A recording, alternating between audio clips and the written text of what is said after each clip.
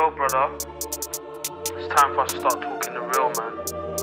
We've been sugarcoating too much. We've got to start calling everything out for what it is. Hey guys, I'm here with my EX30 and I'm about to do a firmware update. I've been hearing a lot of great things about the latest firmware in terms of adding power, acceleration, all the good stuff you want on a firmware update. Uh, but I don't want to sacrifice range to get that uh, in significant range anyway, you know, like 10%, something like that.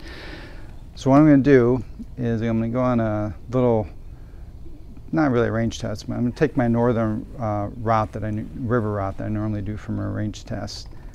Uh, about 45 miles long. I'm going to uh, ride uh, sprightly. So in other words, all the opportunities I have, like where, wherever I can ride as fast as I want on the riverbed, stuff like that, I'm go going about 30 miles an hour. I'll aim for that. I'll get back, uh, look at the the voltage. So right now I'm 133.2. I took it off the charger a little while ago and slowly drifting down. get back, I'll measure the voltage. I'll do the firmware update, which will be a few seconds from, from now, from your perspective. And then uh, the next morning, I'm going to do the same identical uh, route that I do. And then I'll look at the voltage and uh, see how, if there is any significant change. So I will uh, see you in a few seconds when I get back. All right, I'm back. And a little over two hours. And some stats. So the wheel's been sitting about five minutes. I'll let it just, the voltage uh, pop up a little bit, but I think it was 50% when I immediately stopped. So 116.4 volts. Average riding speed was 26.1 miles per hour, and that's wheel speed, so GPS was uh, slower. And it was about 46 miles. And uh, this display the miles is wrong, but here 46. That's GPS miles.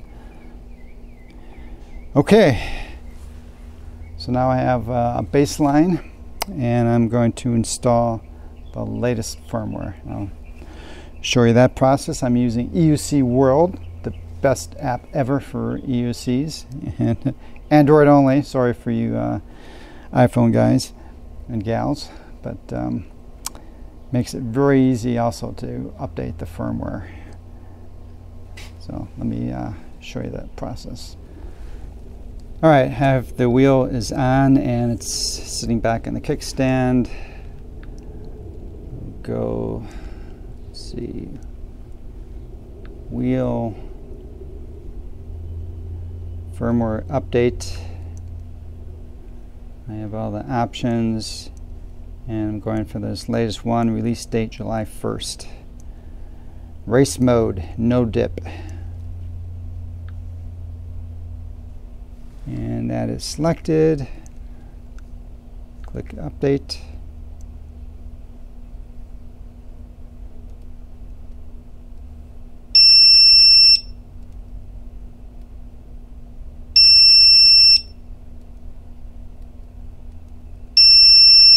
I'm doing this in Wi-Fi by the way.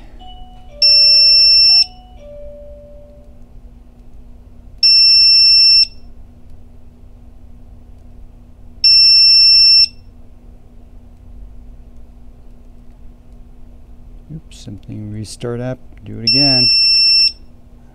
I've had this happen before.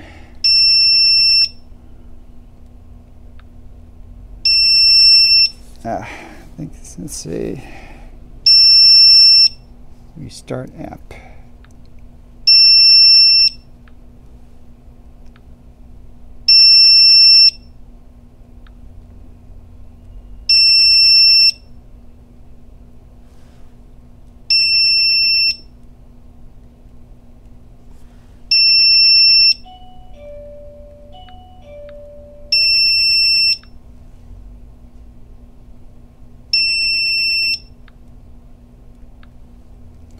Think I need to cycle power on the wheel.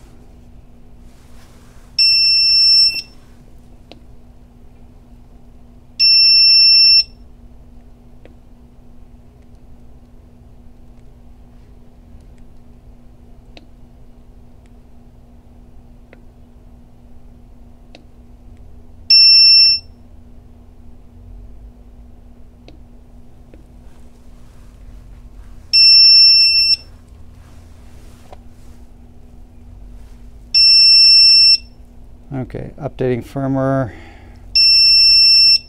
I might have been doing that in the past. Ah, I keep forgetting. You gotta look down at this bottom of the screen. I think it just picks up where it left, stop, left off.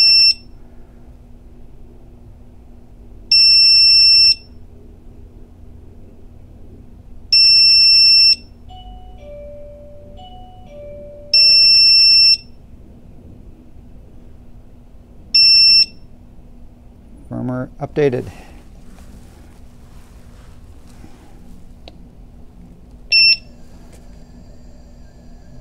Go.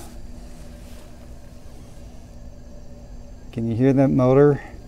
It was silent before, and this this is common, or this is what's been reported.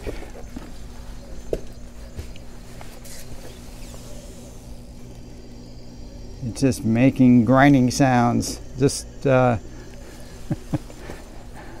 I kind of like it. I don't know. Makes it sound like it's got a lot of pent up energy in the wheel and it's just trying to get out. okay, so um, again, it's, uh, it's about 10 o'clock in the morning. I started this ride 7:30. Put the wheel away, recharge it up again, and tomorrow morning, which will be at a few seconds your time, I will uh, start the ride again and then uh, report back what uh, how it affected the range, if anything, and also if I notice uh, what I notice in, in the riding uh, speed. See in a few seconds. Okay, it is the next day. I just got back from my uh, repeat ride.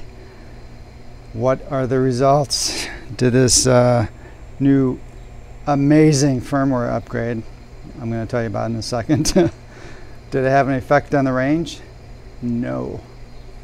I would say zero effect, essentially. So on the interwebs, if you see anyone saying, oh, this new uh, firmware, it uh, consumes more power, you know, I heard something like 10%, um, they're smoking something. And if they say that, tell them to, give, tell them to provide uh, evidence uh, to back up their, uh, to back, back that up.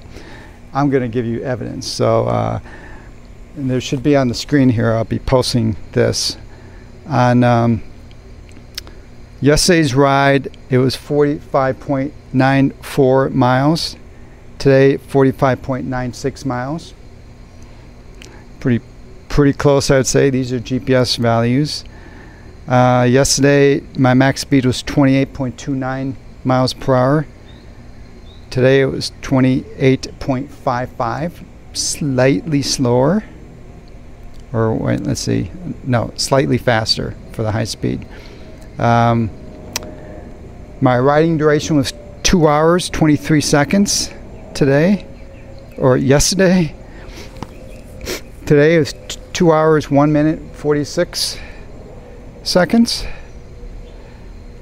Uh, let's see, yesterday my moving average speed was 22.9 miles per hour and uh, today 22.65 so slightly slower.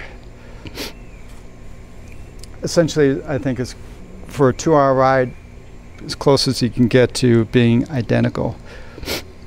Uh, right now the voltage is sitting at 116.8 volts 54% battery. I think yesterday I was saying it was about uh, I'll confirm this up here, but 53%. When I ended the ride, it was uh, 51%, and I think yesterday it was 50%. You know, of course, when it sits for five minutes, it rises up a little bit. So it's all, to me, it's all in the noise. Essentially, the values are the same. And uh, okay, so getting that out of the way. Uh, if you have an EX30 and you're not running the latest firmware, firmware dated July 1st, the one that says race no dip, you got to get it. You got to you got to get it, guys. it's amazing. It's kind of transformed this wheel. I'm kind of blown away. Uh, the acceleration is very noticeable. I mean, uh, obviously it was fast wheel before, but now it just wants to get up and go. I have it it just accelerates like crazy now. And then the no dip. Okay, so uh, I've been riding wheels. I've been riding Gotway Begode wheels for seven years, and uh, I think they finally solved the no dip. it only took them seven, eight years to, to do it. Whoever they hired to do the to do that, uh, give give that person a raise. Yeah, it's amazing. The uh, I ride in medium mode lately, and uh, so it still has late pedal dip for when accelerating and braking, which is I like. It's good. But doing any kind of turning, turning, hard turning, or doing any kind of high speed, uh, you know, carving turns, the pedals just pull up slightly, and it it it just it feels beautiful. uh, you get so much more sense of control in turning because of that. Uh, I love it. Wow. I'd say the only downside, and I put that in quotes, is the motor noise. Like right now, I can barely hear it, but if you're in a quiet room, um, like if you're reading a book and your wheels on, you're probably not going to like this firmware update. but yeah, and once you step on the wheel and start moving, you know, it's there's nothing, right? It's only when it's standing still, it's like it's like it's it's got a bunch of energy in there and wants to uh, get out. And uh, wow, so uh, huge thumbs up to this uh, firmware uh, upgrade. And I guess for the you guys who really race like 50 mile per hour, uh, everyone's been saying it's who's used it it's gotten rid of the oscillation issue at those high speeds. Uh, so it's like a win all the way around. Get that update, guys. Get it. You will love it. All right. Well, I hope this uh, video was beneficial, useful. And until next time, safe riding.